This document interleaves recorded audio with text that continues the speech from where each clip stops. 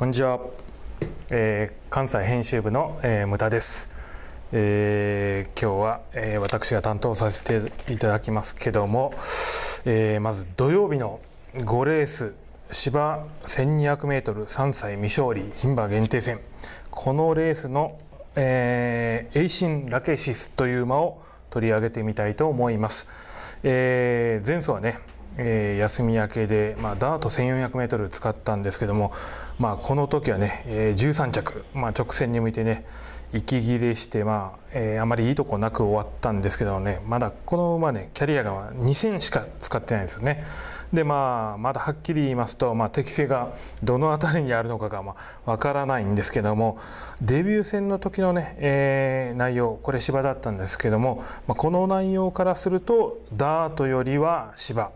で前走のね、まあ、1400m ダート、まあ、これ全然ダメだったんですけど道中のね行きっぷりを見ると距離は短い方がいいということで、まあ、今回のね芝 1200m っていうのはねなかなかいい条件じゃないかなと思います。そしてね、まああのまあ、一番ねこのまま強調したいところっていうのはやはり攻め馬の動きを見ていると能力がね結構ありそうなんですよね。でまだその良さをね、まあ、生かしきれてない現状で、まあ、2戦して6着13着。で今度はねこの適性があるんじゃないかなと思える芝の 1200m で動きもねすごくまた前走を使って状態も上向いてるんでね馬券的には今度がおも、えー、今度はね面白いんじゃないかなと思います。でえー、っとねまあ内目の枠がね、えー、うまく当たりましたしまあやっぱり最終週といってもね、まあ、B コースとしては2週目なんでねえー、1200だとちょっと内目の方が枠がいいんじゃないかなということでねいい枠当たったと思います。あと相手はまあ、えー、2層目になりますエスペランサ・デュー。そしてね、まあ、人叩きしたコスモあ大隅アースあたりがいいんじゃないかなと思います。であの他には、えー、そうですね、えー、金利スキーム風の香り、えー、エターナルスカイ。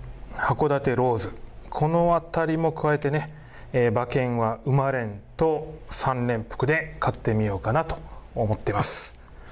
でもう一つ、えー、これはね小倉の、えー、日曜日の最終レース、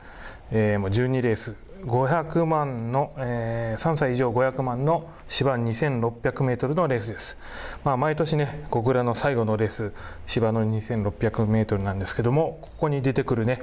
サラトガスピリットという馬を狙ってみたいと思います。えー、この馬ね、えー、素質はかなり高いはずで、で、まああのね、瞬発力勝負というよりは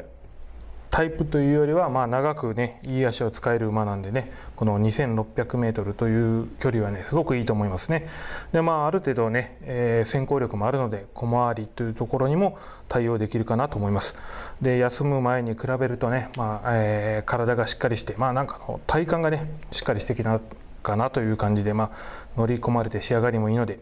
いきなりからあの高レースができると思いますね。で相手のヒットはねハイプレッシャーこれはね、人叩きして今回得意のね、まあ、実績ある小倉の2600メートルということでね、まあ、相手はこれが一番いいかなと思いますね。あと、チャパラ。これもね、まだ3歳まで素質はね、見劣らないぐらいなものがありますので、これも買います。あと、ミコラソン。これはね、ここ2回、まあ、ゲートえー、失敗して12着10着ですけども、まあ、先行すればねしぶといタイプで、まあ、その前はね2着3着なんでねそういう形に持ち込めれば変わる余地あると思います。あと前走ちょっとね少し窮屈だったアプリコットベリー。でまああと相手なりになんか走れそうなねワンダフルワールド。で一応8ヶ月ぶりですけどもまあしっかり乗り込んで、まあ、地力もあるトウホウスマート。ねえー、まあもう一頭挙げるとすればひと叩きしたボルスングですけどね、まあ、サラトガスピリットが、まあ、1着2着になるような馬券、まあ、馬連馬単。で3連単ね。12着とそういう絡みの馬券で勝負したいと思います。ありがとうございました。